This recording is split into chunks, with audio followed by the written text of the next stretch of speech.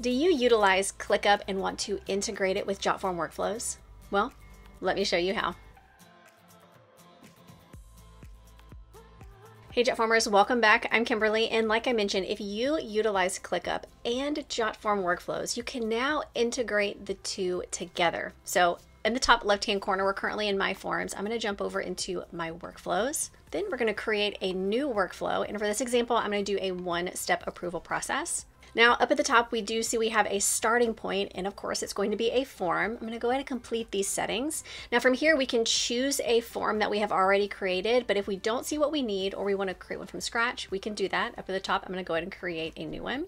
I'm gonna start from scratch on the classic form. And on the left hand side, I'm gonna go ahead and bring in some elements. We'll do full name, email, and phone number. Maybe we'll just do signature just in case. And our form is good to go. So I'm gonna head back over to our workflow builder. So we can see once someone fills out this form, it's gonna come down to me as the approver, and then we have two options. We can either approve or deny. So let's go ahead and add in ClickUp. I'm gonna delete this link right here left hand side, we're going to choose our integrations and we can choose ClickUp right here. So we can either create a task, a subtask, or a comment. Depending on what you want to do, you can choose from there. I'm going to go ahead and create a new task. We can bring that in and then we can add our links back in as well. So let's go ahead and complete our settings and get our ClickUp account authorized. All right, first we need to select a workspace. I only have one, so it's gonna automatically give me that one workspace. Next, we need to choose a space. I'm gonna choose our IT team, and then we can select a folder. I'm gonna go ahead and do no folder, and then we can choose a list, will be my project. So for the name of this, I want this to be the form title.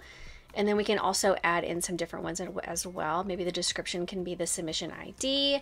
And then we can also, if you are collecting uploads within your form, you can choose to have them go to ClickUp as well. We can go ahead and save this. Perfect. All right, let's go up to publish and we'll open in a new tab and give this a test. We'll do our signature. Perfect. We can submit. Now, as the approver, I'm going to receive an email to let me know that I need to come into JotForm and either approve or deny. But since I'm already in JotForm, I can come over here and click on where it says Workflow Builder and jump over into my inbox. And we see we have John Smith right here in progress. We have action required. I can review all of his information in his form and we can either approve or deny. Let's go ahead and approve. And because we are integrated with ClickUp, we're going to see that we have integrations running right here. Now, what is so great about this is I don't have to log into ClickUp or go over to ClickUp and try to find this information. JotForm makes it really easy for me to click here and it's going to take me straight to this over in ClickUp. And here we go. And it really is as simple as that. If you have any questions about how to integrate ClickUp with JotForm workflows, let us know down below in the comments. If you like this video and you got some value, hit that like button and don't forget to subscribe and turn on the bell so you get notification every time we put out a new video. I'll see you next time.